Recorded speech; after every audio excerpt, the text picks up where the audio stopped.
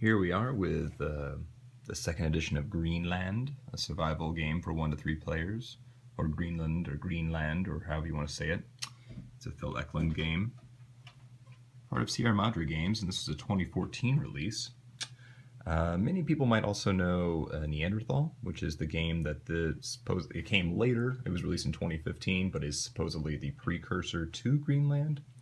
Uh, so if you've actually played that, you might see or notice some of the things are similar in the tableau and whatnot. But it is it is its own whole different beast, of course. And uh, yeah, so I'm going to play through it and talk about it. I'm going to start with a little introduction, and then go through the turns. And uh, I don't know, I'm just kind of have fun with playing it. I guess I kind of I've never really played any Phil Eklund games before. I read a little bit about them. And uh, I picked up this game sort of randomly at, at uh, Guardian Games. I went there one time. That's my one of the many local game stores we have here in Portland, but uh, it's one I've been to the most, and I think it's maybe the biggest for sure. So, picked it up. Thought it'd be interesting just from the premise alone. Didn't really know much about like Phil Eklund games or Sierra Madre games, but um, definitely thought I'd just give it a shot. And only recently have gotten it out because of uh, I've been reading more about his kind of games and. Uh, I've had a small little shoulder injury, so I had some extra time on my hands, and I thought, hey, why don't I just try playing this? And because uh, you know, I'm not, I hadn't really played dice games before, but this one played, I actually played it through a couple times, and I did enjoy it. So I thought, why not show it off? Does seem like there's a lot of videos for it, so I'll just be a, a, a pioneer, a trailblazer, whatever you want to call it, a hero of the people. Yeah, I'll take any of those titles.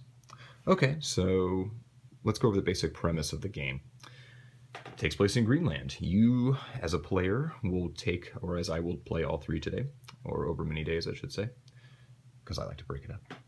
You play one of three different sort of tribes of people. So we have here the uh, Tunit, uh, the Thule or Tool. I, once again, I'm terrible on pronunciations, and I looked in the book and didn't really have one. And of course, the Norse, who a lot of people would know. Uh, historically, these three peoples um, cohabitated in Greenland at the same time in different parts, but largely in the same mass. And over time, the Tunit and the Norse uh, didn't make it. It says I think they died off or something, which doesn't make any sense to me. Maybe they just left or didn't really sustain as a habitat. Maybe they did die off. But the Tool eventually were the only survivors of this conflict, uh, which is not really necessarily a conflict. I guess it is with nature, but um, always the eternal battle with nature. Um, but you know, it's just it's supposed to uh, simulate that, right? So the end goal, if you're playing a three-player cooperative game, is to keep all three of these people alive. Uh, if you're playing, of course, just uh, versus everybody, it's for total domination and victory points. Let's talk a little bit about resources in this game. So the main thing is, is the main tableau. So you have this sort of personal tableau here for each player, right? We got the Norse player here, we got the Tool, we got the Tunit right here, you know, green. I think they could have chosen different colors. I'm sure colorblind people love the fact that there is literally the worst colors for colorblindness here, but that's okay. So you see here we have two different sort of um, rows. We have the northern Greenland and southern Greenland, and this has what will be the cards that we act upon during our turns. So turns are broken up into six phases, all right? Let's take a look here. In phase one, you have the event and the auction phase. So the game sort of clock, internal clock, and how we decide how things essentially what determines the end of the game, right? Otherwise, it would just keep going, I guess. But yeah, what determines the ultimate end and what will change toward the evolution of the tableau here, we'll talk about that in a second, uh, comes from the event cards. And every turn we'll flip one over and we resolve the events for every player.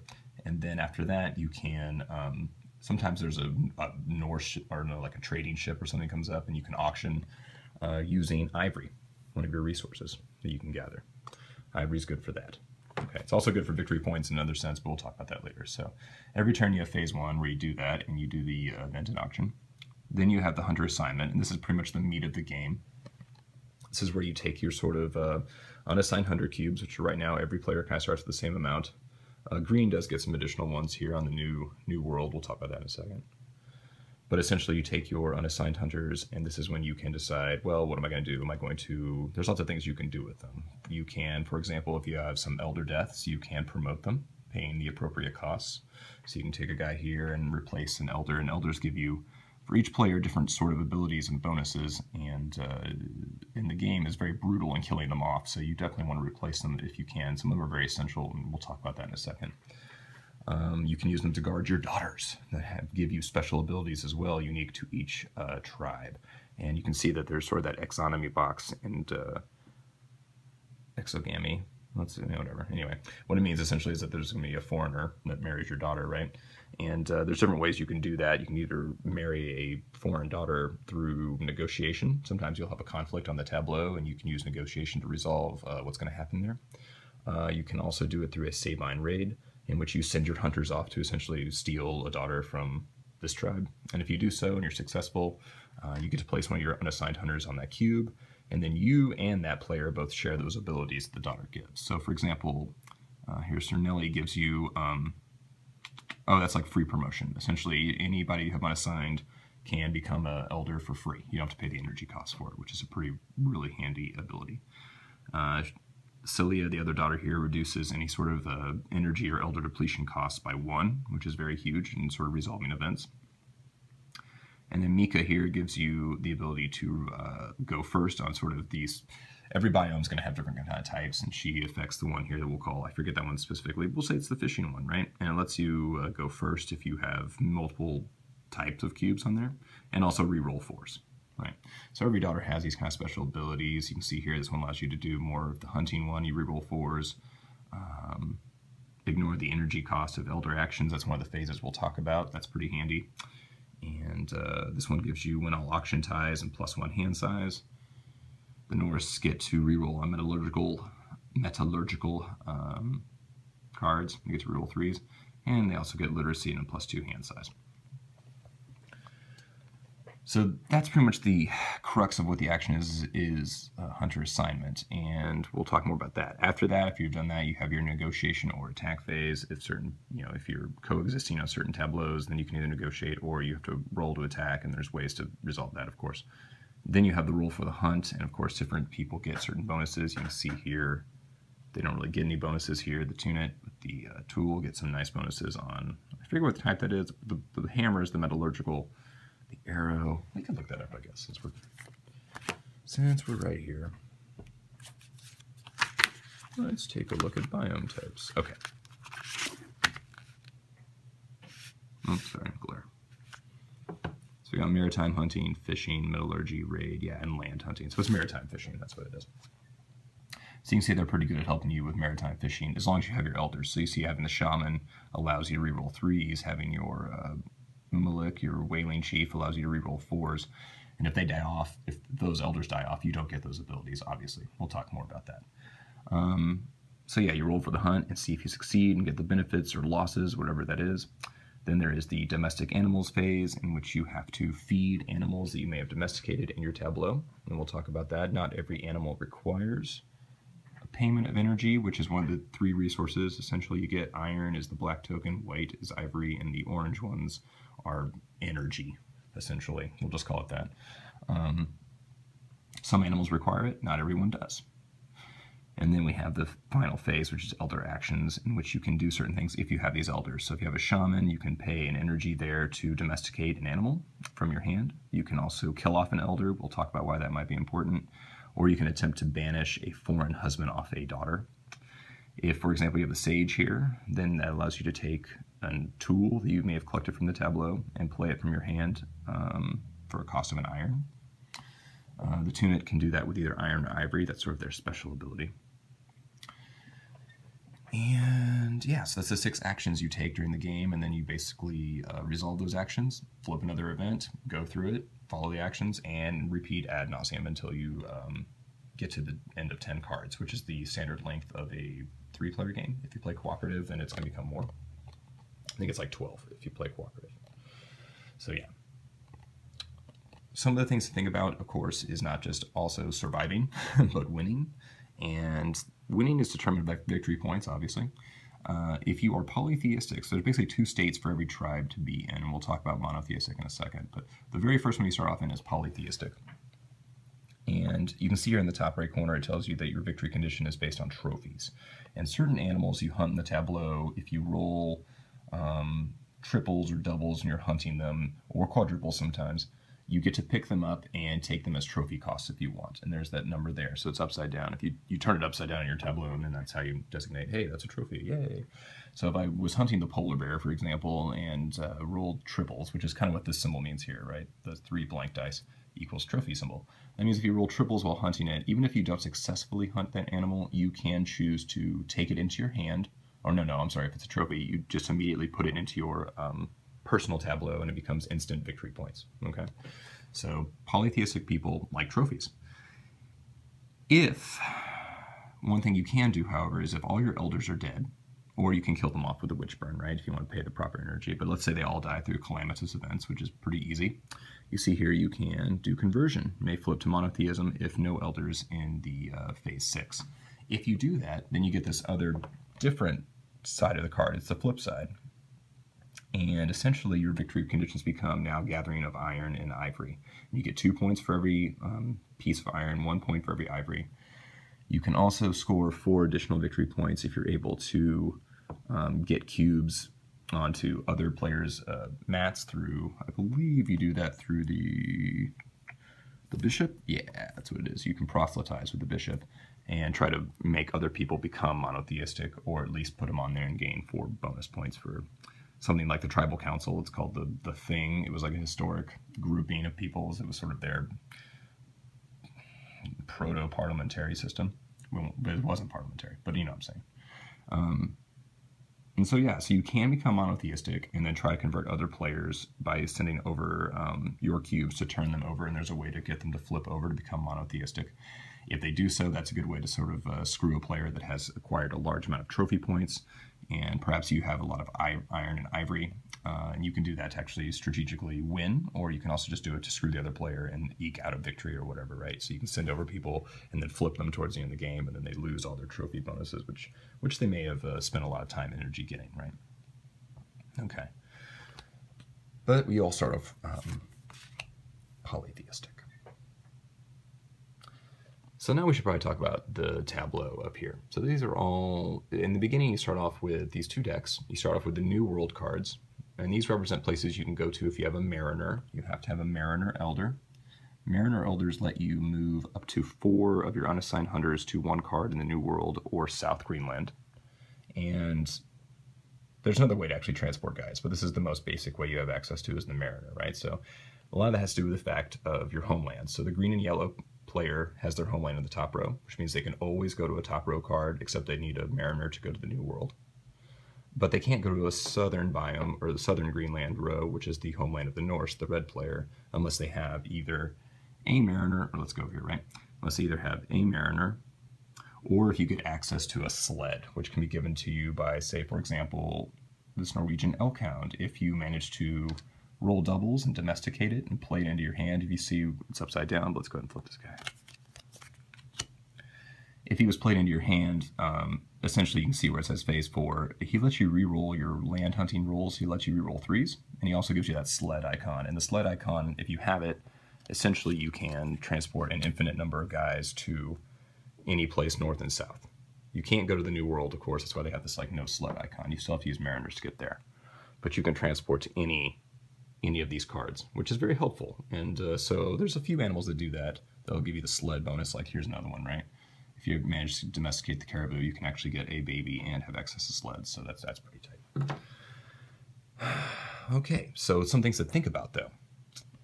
If you, for example, take a trophy animal, let's say like you hunt the bird cliff birds here, right? And I roll doubles and I take it into my hand for one victory, or put it into my uh, personal area for one victory point.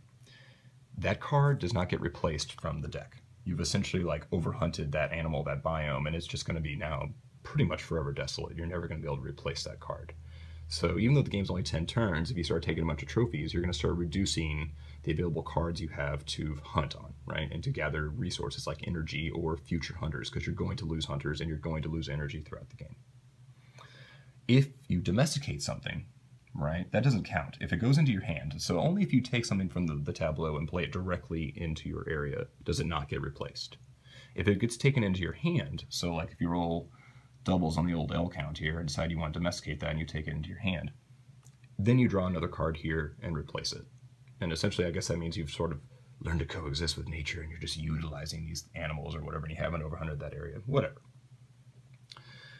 Um, so that's one thing you have to think about. Of course, same thing happens here. Like this is a tool, so we can get the cold forging process. And if we take that as a possible invention or a tool we're going to have, again, we just flip another card over here and replace it. Occasionally, events cards will come up and we'll have a symbol on it that represents global cooling. And what that means is you're going to take, when that happens, you're going to take a card from the right side, the or actually the furthest right card on both sides, in both north and south, will go from here, and they'll go to what they call the cold side. And what that means is essentially when you try to hunt on anything in the warm side, you'll see that several of these cards have this sort of like dice with a star in it. That means the number of success rolls you have to get to actually, you know, successfully hunt that card. Okay, there's other symbols, we'll talk about that. The, those mean, for example, the narwhal requires two successes. If you do that, you get three babies, you get two energy and two ivory. That's pretty nice, it's pretty good. But that's just on the warm side. If a card goes to the cold side, then you need to actually roll a one to get success. So it becomes much more difficult to actually get successful hunts on cards in the cold side. And that will happen throughout the game. The events will eventually start moving more and more cards to the cold side. So you can imagine combining not only overhunting by taking for trophies, but also slowly moving cards to the other side where it's more difficult. And then you start seeing the ramping up of difficulty to survive if a few hmm, nasty events come up and you have to really deal with it. It, it can be nerve wracking. Something else to think about is sometimes on an event card will be a migration. And when that happens, it will target one specific row. It'll be like a northern migration or southern migration. And when that happens, we look at the row and we look at sort of the top right values and we look for the lowest value. So you see at 3 and 9 and 12, sorry, I missed that, 12, 5, 8, 2. So the muskox actually is the lowest. So if we had a northern migration, this card would go away and we'd replace it with a card from here. Um, and as you can see, the lower value ones tend to be pretty easy hunting ones. They're not dangerous and they give you nice things. Like the narwhal over here is a pretty sweet thing, but he's a 3. so he gets replaced pretty quickly if you get a northern migration, right? So we've discussed getting trophies, what it takes to succeed, and the benefits you get from that. But sometimes animals can fight back. And so we see here the bite dice, sort of bloody die. And that means if you roll, for example, a three when hunting this, you lose a hunter, right? And certain technology will help you alter your rolls. Like I know there's some piece of technology, I forget the name, that lets you automatically convert anytime you're doing maritime uh, hunting, any threes become ones. So automatically the narwhal would never hurt you. You would never die if you hunted it. Um, see if anybody more threatening. Yeah, the polar bear. So there's a two and a three, which means even if you get a success roll, which is a one or a two on the warm side, he's going to take you out. He's going to eat you with a two or a three. Okay. So some animals are difficult to hunt, and you'll want to start acquiring technology or bringing superior numbers to actually take them down. Right. Like here's another good one. Here's the Greenland shark as a two or three. This is not really particularly awesome thing to hunt, right? Because it requires two successes to get one baby it's only worth five points for a trophy, which is not bad, but it kills you pretty regularly on a two or a three, right? And this is where you're going to want to make sure you check your abilities. So, for example, if we have the Tunit and they have their Shaman, then they get to reroll threes. That's pretty help. That's pretty helpful, right? And they also get to reroll fours since they have Mika, right? And anybody that marries Mika gets that ability too. That's why there's going to be competition for essentially um, getting these kind of resources. You may find yourself suddenly very low on elders, and it, and it costs one energy to promote an unassigned hunter to an elder space normally, right? But if you have access to Nellie here, she lets you do it for free. So if you start having a real decimation problem and you can't get the necessary energy, which can be tough, then you might try to start marrying her off or try to get her very quickly because um, that's a really helpful ability the tuna get access to. Let's see. There's also the New World. So you have to have a mariner to go there, right? That's why I have the no sled icon. And anybody that goes there stays there, and they're called colonists. And uh, that's helpful because you can start acquiring a lot of hunters, and there are certain events that are called decimations, where if you have too many hunters gathered together, like 9, 10, or 11, then you lose half of your available hunters and one elder. And decimations are pretty much the primary way you lose uh, guys. So you don't want to get too big. You want to be big enough to survive and thrive. But if you start getting too big, then you're going to need to start putting dudes either onto empty elder slots if you can, or sending them off here to, to become colonists. And the colonies are pretty good. You can see here that they're kind of dangerous, right? There's a three and a six kills you if you hunt there, a three and a six there. But what's interesting, of course, is that one, the rewards are greater, right? If you get one success, you get egg another colonist. If you get a baby on these things, they stay there. But you also get four energy here. You get two colonists here, and you also get two energy and two iron. That's pretty nice. If at any time more than six colonists ever land on here or accumulate on a card, it flips from what it's called peaceful side to its warlike side. And here it's much more difficult to get a hunt off successfully, right? A two, three, or six will kill. And um, I believe you have to fight if you're on it. Like I believe different cubes are they have to start fighting. And at one phase, what is it, phase five, you can expend an ivory token to flip this from its um, warlike side to peaceful side again. But of course, if you have more than six, it'll just flip back. So essentially, when you get under six again, someone has to pay an ivory, and that can go back to being the peaceful side. The other benefit the New World has, I should mention, is you'll see there where the success die is, there's those little chevrons that keep going to the right. That means that it can be hunted by as many people on that cube as possible. Normally, when you assign hunters, it can only be hunted successfully by one person, right? And the way it happens is if we both put cubes on the same thing, then if we don't negotiate a peaceful resolution where one of us leaves, then we fight and you roll for potential casualties. And then after that's done, you take the player with the lowest amount of hunters on that card and they get the first opportunity to try to succeed. If they succeed, then the other player who put cubes there uh, will have to go home empty handed. Uh, so each card can only be hunted successfully by one player, whereas the New World cards can be hunted by as many players that have cubes and are willing to, to uh, take chances uh, hunting there. And that's pretty much the game. Um, some some things to think about, uh, especially in the beginning, is that the Tunit here, they start with a bunch of colonists at Markland, which means they have less of a total available to to birth or generate. So they're going to start to have to think about either the benefits of staying on Markland or moving guys off. They also, everybody starts. So I took that to have an example of being um, the monotheistic. I just wanted to show that side. And there's more to it. And when we get to that point, we could probably talk more about it. Oh, we need one more guy. you? Oh, no, we don't. One, two, three. Oh, yeah, we do. Need one more guy. Where'd you go? Hmm, I need to make sure that's all proper. Anyway, so yeah. As long as he has an artisan there, right? That three rank elder, these are all different ranks. I don't know why they call them ranks. They really should just call them like because it makes you think that like a rank six is somehow higher or lower than a rank one. It really should have been like type one or something. I don't know. We'll just say a type three elder, even though the rules call them ranks, because I like that class. I'm just going to say that because I like it. A type three uh, uh, elder is called an artisan. You can see there it has that hand symbol and plus one.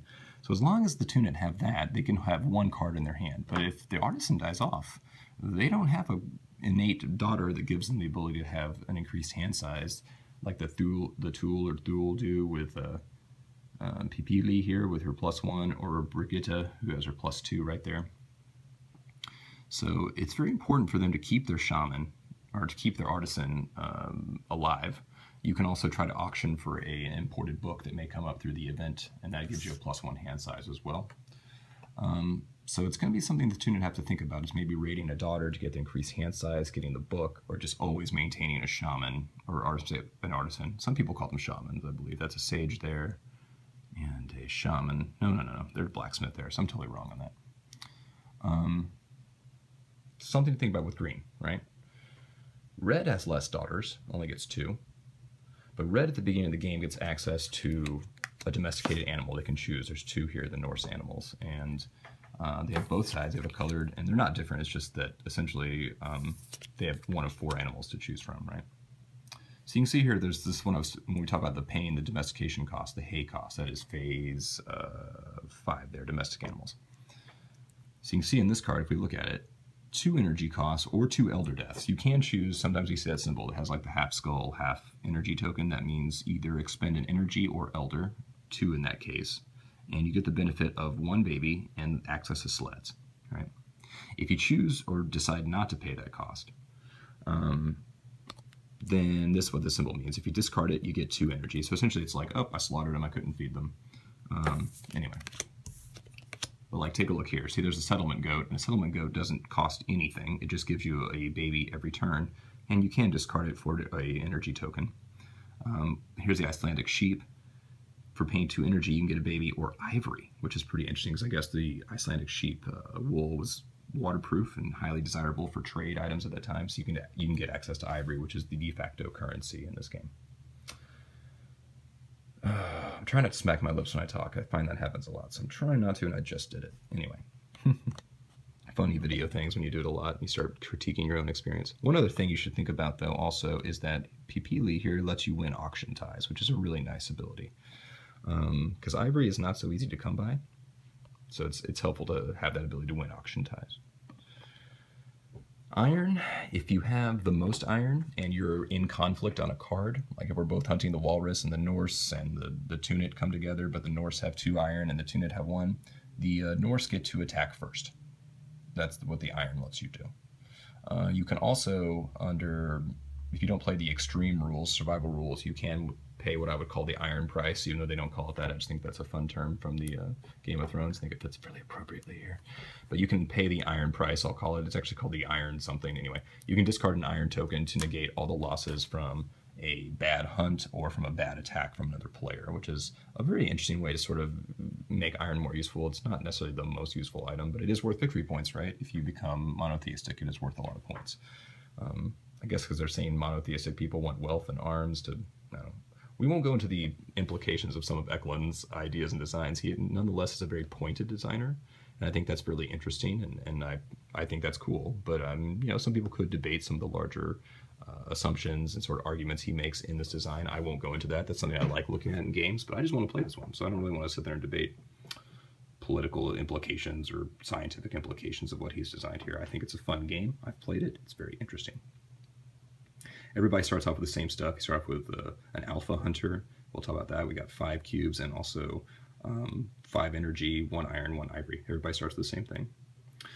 These sort of cylindrical hunters here, these are the alphas. An alpha essentially is like your super hunter. He's like your guaranteed good good roll. Um, if you put him on a die, then you can elect to have him automatically become a one. He doesn't roll dice, which is has implications for getting triples or whatnot, right? Um, but he's an auto success, which can be very, very helpful. If you play the extreme rules, then he rolls a two, which makes him an automatic loss on the cold side, and sometimes a suicidal guy, like for example, the Greenland Shark would kill him.